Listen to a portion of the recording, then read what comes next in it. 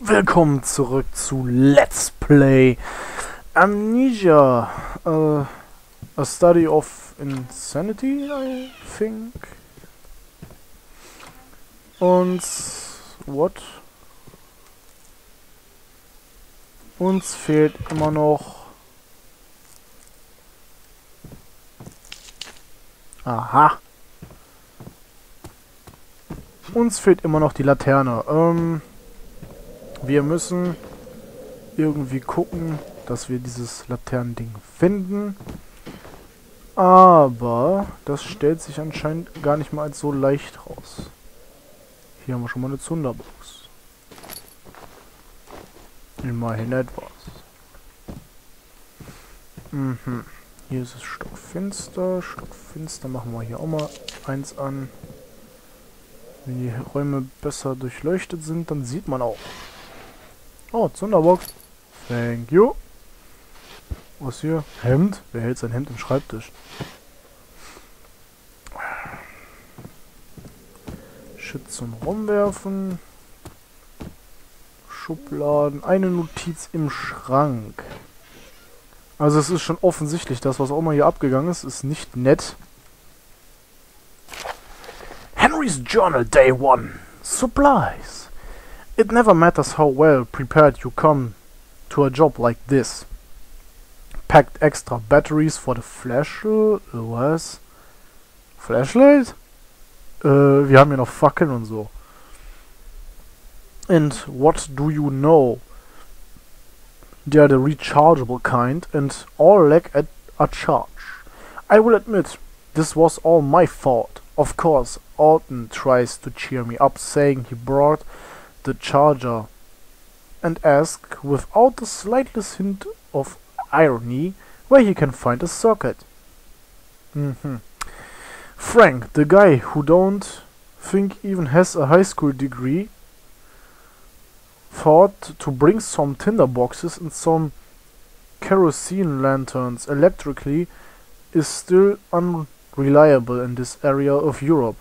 So in his in his town they still use candlelight, in case Alton manages to lose something as large as a lantern.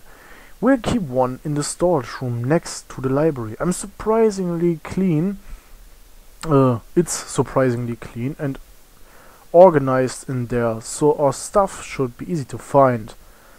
I have to hand it to the previous owner to keep things nice and tidy for us. Aha. Ich vermute mal, das hier ist dieser Storage Room. Und ordentlich ist der hier definitiv nicht. Aber ich ahne schon, wo das drin ist. Weg damit, weg damit und... Verpiss dich, du fetter Balken.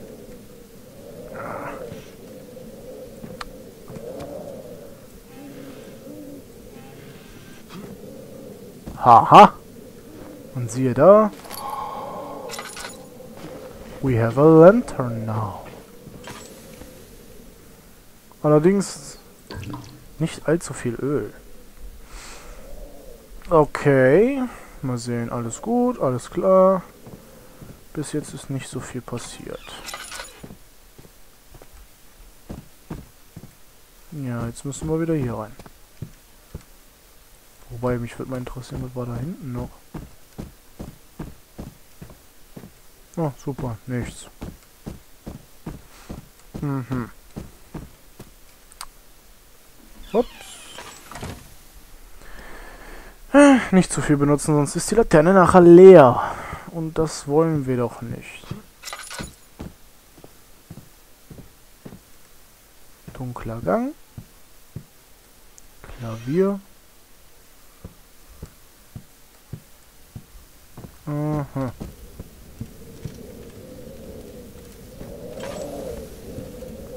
Eine Notiz. Henry's Journal, Day 1. Keys and locked doors. Why couldn't the former owners been kind enough to leave all their doors, doors unlocked? So far, we found the coat closet by the entrance is locked. The back door is locked. The kitchen storage room is locked. The basement is locked. And the door to the second floor is locked. We've spent so much of the day hunting around for keys. Orton hmm? found the key to the second floor in the wine storage of all places. He then immediately lost it. Of course, I found it on the floor right outside the guest room, where we've made our base camp for now. Apparently, the, the holes in his pockets have gotten big enough to lose massive 18th century keys. I keep telling him to get some goddamn new clothes. That cheap bastard. If we lose any more keys, I'll, I'm blaming him. We keep our collection in the guest bedroom, here on the first floor. Okay. Soweit dann also ist das anscheinend in einer etwas moderneren Zeit. Nur die Umstände sind etwas älter. Oh, hallo? Irgendwas zum Anmachen hier. Ja. Hammer. Das finde ich jetzt echt Hammer von denen. Ähm, Kiste. Können wir hier aufmachen. Wow! Ach. Äh. Super. Gesammelte Köpfe. Was ist daran jetzt so super scary? Warum machen die dafür so einen so Boom-Effekt? Die Boom-Effekte sind ziemlich... Ah, Zünderbox. Ziemlich laut. Moment mal. Da muss doch bestimmt auch noch was ein. Geh doch mal weg hier mit dem Scheiß. Ah, Öl. Direkt rein damit.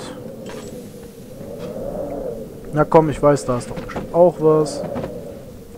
Oder? Nein.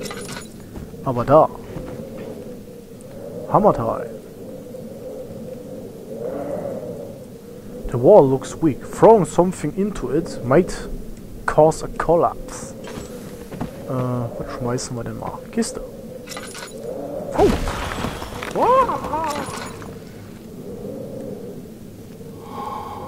Who's the bitch now? Bitch. Okay. Ich ahne Böses.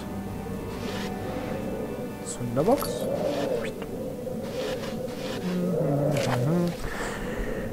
Uh, Henry's Journal, Day 3, Trapped.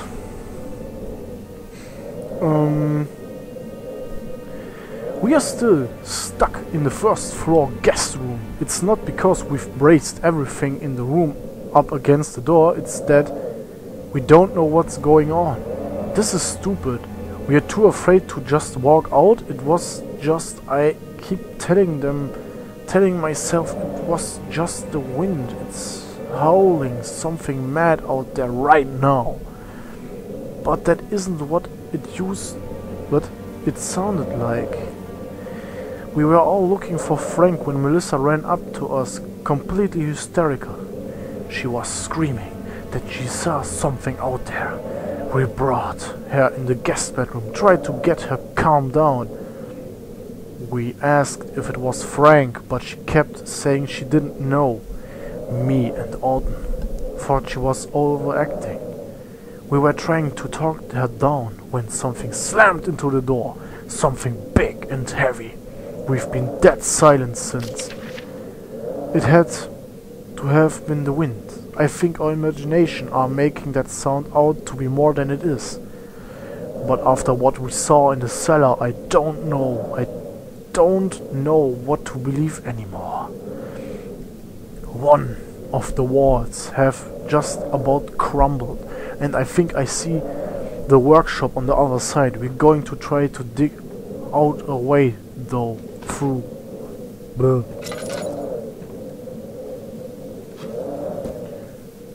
So, Moment. Die haben sich dann wieder versteckt. Ja? Ich hätte jetzt da verschwören können. Ha. So, die waren also da drin und sind rausgekommen und haben danach nochmal fleißig die Tür zugemauert oder was? Ah, leckeres Bier bei den Temperaturen tut echt gut. Ähm. Hallo? Hello. What the fuck? What the fuck?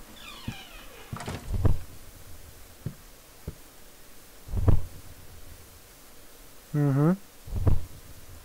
Da bewegt sich irgendwas.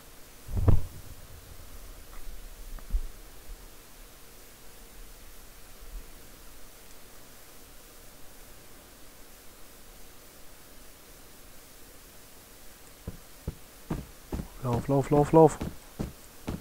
Oh shit.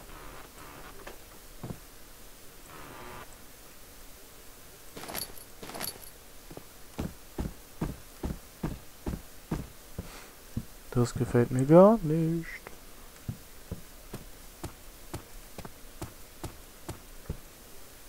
Hm. What the fuck? Can't be too far. ich bin mir sicher, ob ich den Key überhaupt finden will. Ähm? Henry's Journal. Day 2. Noises in the night. Nobody slept well last night. Normally I'd chalk up all the noises to the standard fare of an old wooden house. The planks creak enough to wake the dead. Still, I've slept in far more ancient homes than this, and I've never heard such a racket. Melissa came knocking on my door last night, maybe around one or two in the morning. She says she was hearing some strange sounds herself, specifically a bunch of things falling over downstairs. Now it takes a lot to spook Melissa. They places she grew up on were far nastier than anywhere we've traveled, and I'm pretty sure she could throw any of us out out the window if she got pissed enough.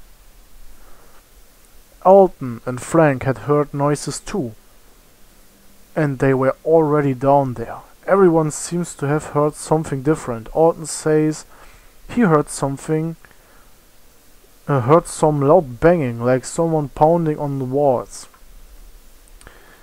Frank swears he heard some groaning. Of all of us, Frank looked the most spooked. He started, started talking again about how the place must be haunted. He sounded a lot more serious than before. Later in the day, I'll have to talk with him. Our imagination can make a strange, unfamiliar environment like this far more frightening. All it takes is a little noise and the mind, mind does the rest. Das Fiese ist, wir wissen ganz genau, dass das nicht so ist. Ja. Rein hier.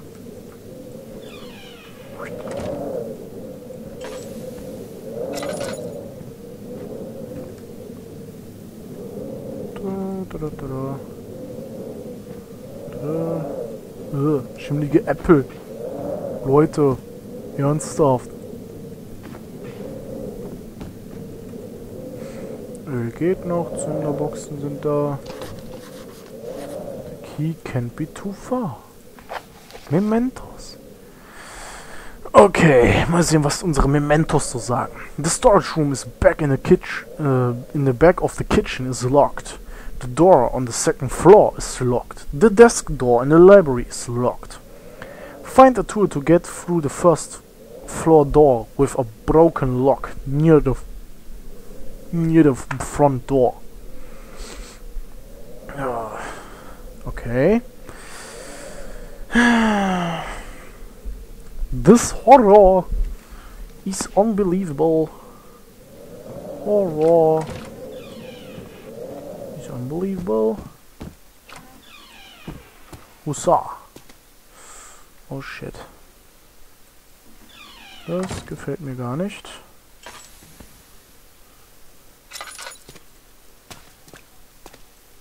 Blut? Ist das Öl? Nein, leider nicht. Okay. Ähm Ja, klar. Die stellt sich natürlich jetzt quer. Oh, fuck you, Box. Mhm. Ich mach mal besser die Tür zu. Tinderbox. Henry's Journal, Day 1. Keys in all places. The wine storage seems to be pretty well stocked. I'm I'm still amazed nobody has broken into this place and made off with some of these bottles. Some of these I think are over 200 years old. The group and I have been discussing opening on one of these. We do need to preserve everything and anything, but I have to admit I'm tempted. The odd thing though is why in the what? Why is there a wine storage on the first floor? This house has a cellar which is where you should put your wine if you're storing it like this. Very odd. Okay, was jetzt? Um, the key to the cellar is in the first, yeah. Storage, und was ist denn jetzt? Okay. Irgendwie keine nützlichen Mementos dazugekommen. Hm?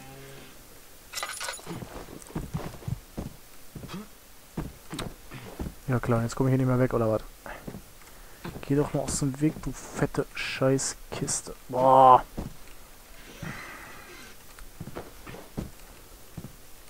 I'm stuck. Uh. Oh. I see what you did there. Zünderbuchse. Die scheinen so oder so so viel komischen Kram zu lagern. Okay, gehen wir mal zurück in die Küche. Denn hier haben wir Licht. Denn ich werde diesen Part an der Stelle jetzt beenden. Okay, Leute. Wenn es euch bisher gefallen hat, das ist eine sehr atmosphärische Mod.